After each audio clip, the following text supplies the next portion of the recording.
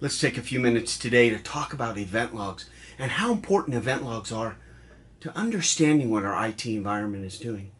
You know, event logs are everywhere within our lives. Everywhere. In fact, that check engine light that comes on your vehicle is a form of an event log. It's logging events that are occurring on your vehicle so that when you arrive at the mechanic's shop, they'll be able to plug in their computer and see exactly what's going on with your car. And then they can implement whatever needed repairs are. Now, this is an interesting concept, these event logs. They really manage everything that's electronic within our lives, generally produces some form of an event log. Now, event logs can tell us information uh, based on codes. So typically, you'll have some sort of code. 2222 for a server, for example, may be a login failed, or whatever the event is. And there are thousands upon thousands upon thousands of events within our environment. So let's take a look at a, couple examples here uh, within our environment. So let's say here we have a server, and within that server we have events that are occurring. Now remember, those events may be, um, and they're and they're written to what we call event logs. These events within the servers may be the hardware itself or the operating system, perhaps applications within the environment. All of these are events that occur within the environment that tell us the status, the operational and the security status of this server. Now, when you start thinking about that, all of these events could become very, very difficult to manage. And so when we have multiple events coming from hardware, software, servers, storage, things of that nature, we add to the mix what we call a log aggregator.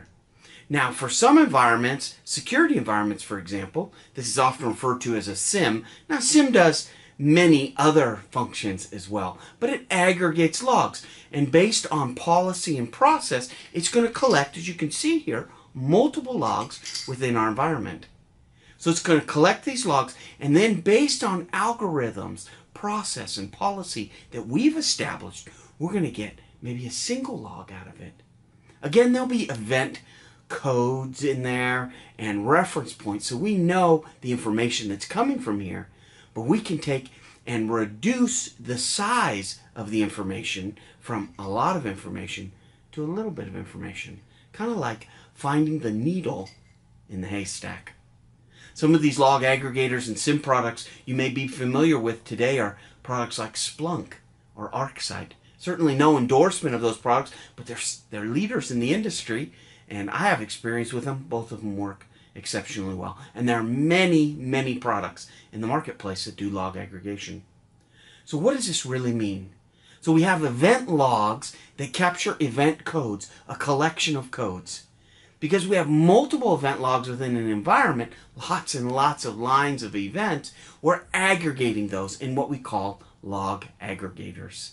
And that allows us to truly find that needle that's buried within that haystack. We want to get rid of the noise, the hay, right? And just find that gem of information or the needle in this example. So that's really event logs. So let's take it one step further and talk a little bit about false positives and how to make event logs actionable within your environment. And let's use another example here. Let's say that you are home and you're you're securing your home for the evening. Now you've gone and gone ahead and locked your windows, you've you've locked your door, you've set your alarm, your home is secure. You go to sleep. Now all of a sudden, of course, it's always right after you've fallen into your deep sleep, the dogs start barking. Okay, and you, you kind of just brush it off, thinking maybe there's a cat or maybe the wind spooked them or something. You wake up in the morning and you find around the windows there's footprints, suspicious footprints. You look at the door and somebody's trying to take a crowbar to the deadbolt.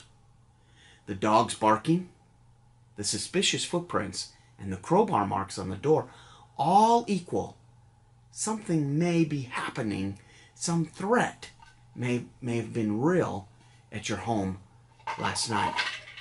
And this is the way it is with cyber. Unfortunately, our minds see those three events and we calculate, hey, there's an increased risk.